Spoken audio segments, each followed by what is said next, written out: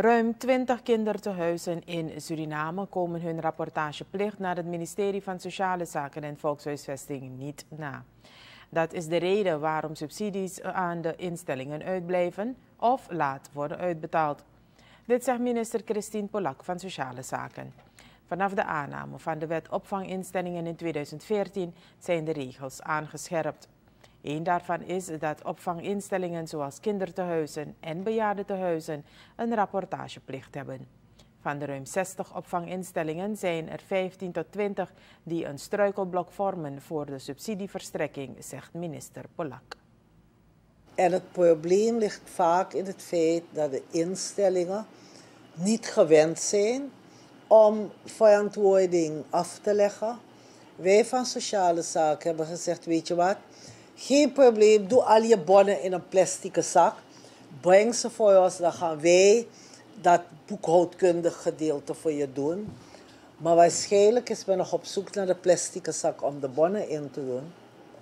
We hebben ze niet ontvangen, waardoor we dus dat niet kunnen doen.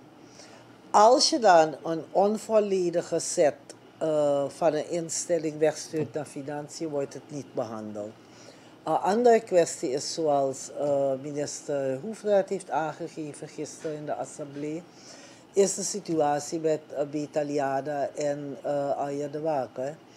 Waarbij er nog, wat, nog geld aanwezig is, waardoor de nood niet zo hoog is als het leed naar buiten. De minister merkt verder op dat er vaak de indruk wordt gewekt alsof de overheid haar verplichtingen niet nakomt. Dit vindt ze onterecht. Volgens haar handelt het ministerie slechts volgens de wet opvanginstellingen.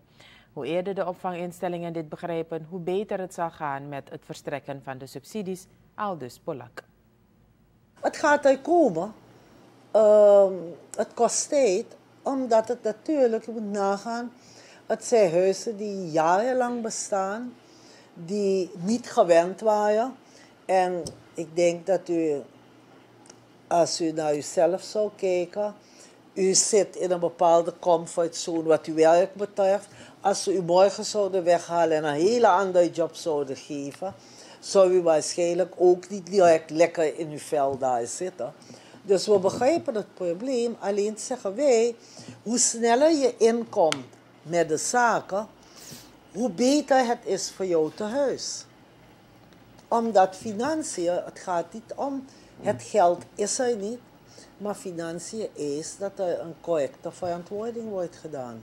Minister Christine Polak van Sociale Zaken en Volkshuisvesting over de perikelen rondom het verstrekken van subsidies aan kindertehuizen. Ze onderstreept dat elke instelling een verantwoordelijke taak heeft, vooral omdat er met middelen van de gemeenschap wordt gewerkt.